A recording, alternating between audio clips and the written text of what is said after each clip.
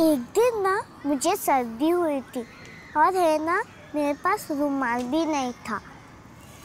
तो इसने अपने टाई से नाक पोछने दिया। ऐसी दोस्ती अगर एक बैंक निभाए तो? क्या बना रहे हो? आईडीबीआई बैंक बैंक ऐसा दोस्त जैसा।